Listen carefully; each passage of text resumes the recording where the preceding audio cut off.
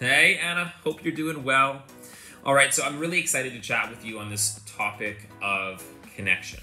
Okay, the connection between the arms and body is truly an important part of the golf swing and an area that a lot of people struggle with.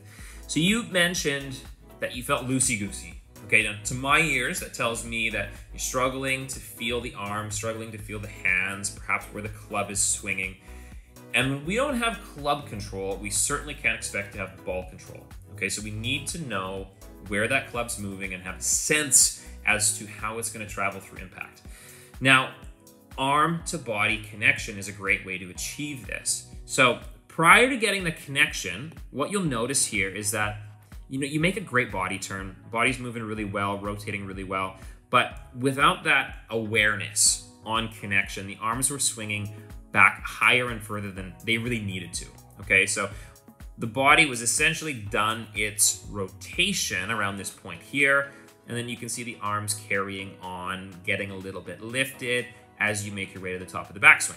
So we've given up some sense of control in that pattern. Now, using a towel, okay, you got two towels, one underneath each armpit.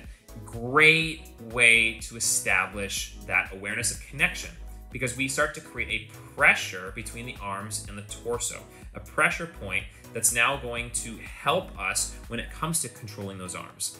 So when you have that connection, what you start seeing is that as you undergo a very, very similar body turn, which again, you've got no issues with how you're moving, the arms stop in a more compact position. Okay, so there's not as much arm lift. The arms are swinging with the body and they're stopping just after the body's completed its rotation. So those two top of backswing images obviously look very different and it's because of the arm to body connection. Having that pressure point underneath those armpits helps you to control where the arms swing. And you can control where the arms swing. It just becomes so much easier as you turn the corner and work through the downswing to have club control. And I tell you what, this downswing is just about as good as it gets. So I'd say this is a drill that you need to keep doing.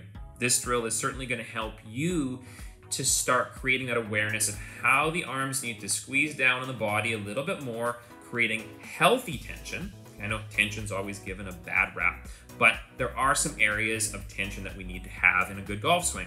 The armpits is one. Okay, so using the towel underneath the armpits is a great way to establish this.